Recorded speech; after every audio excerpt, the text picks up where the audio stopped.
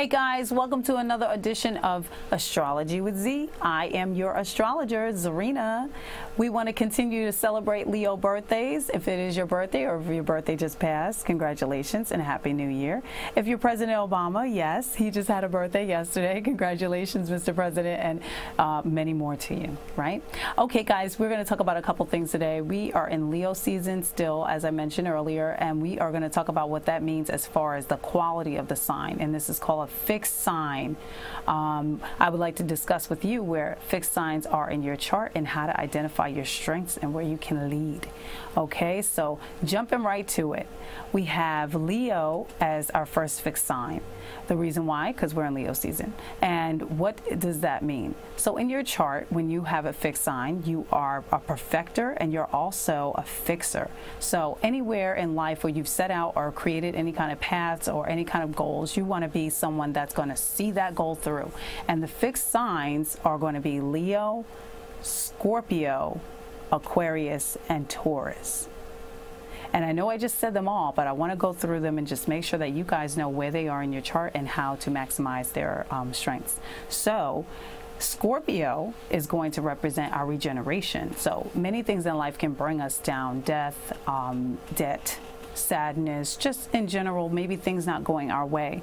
When we look at Scorpio or this fixed sign, we kind of see a way to push through things not going our way and kind of see our way out of it. So we come back in Scorpio to our soul or our inner self and we kind of meditate and try to figure out what are we doing that's either hindering or helping us. And then we maximize on that by using our strengths in order to push through whatever um, is kind of hindering us from within.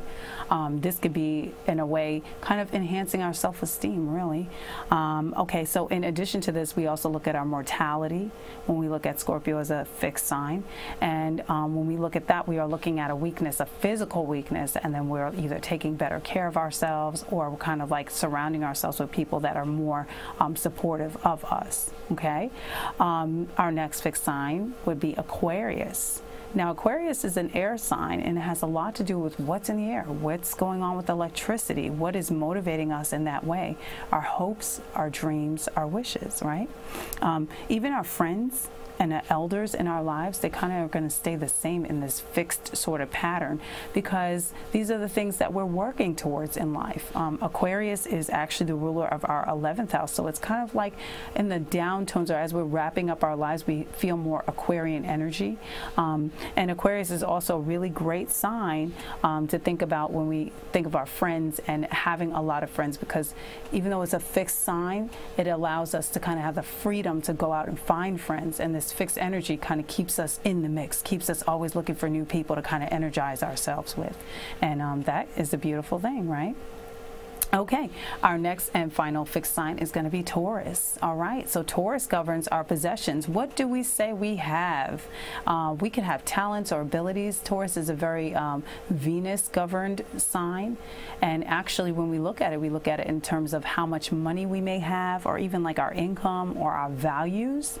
Um, and these are things that really don't change throughout our lives necessarily. They could change in the way that we express them, but ultimately, we value um, what we value value, and then we work towards it throughout the course of our lives as well.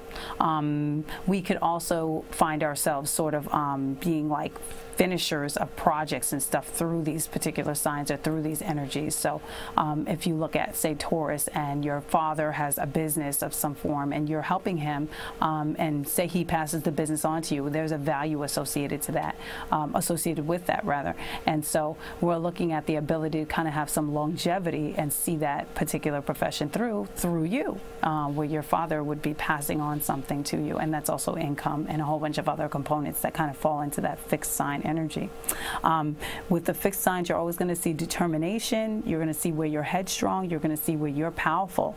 Um, you are also going to see a little bit of stubborn energy as well and a bit of rigidness. And why? Because you are the guys that stick to it and see things through.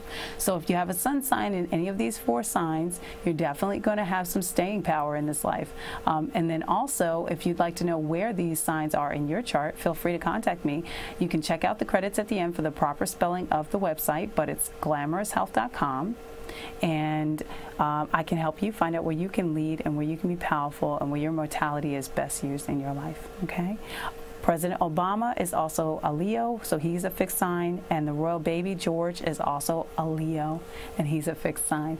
And oh, one more thing about little baby George is that we may also see in his future more of his talents being displayed and less of these instances where we see royals acting out or you know things like that that kind of like put them in a bad light. He will be um, exhibited in a very positive light and he will definitely be highlighted for his talents. So we'll see like what he can do and it'll be very interesting to watch him and I look forward to it.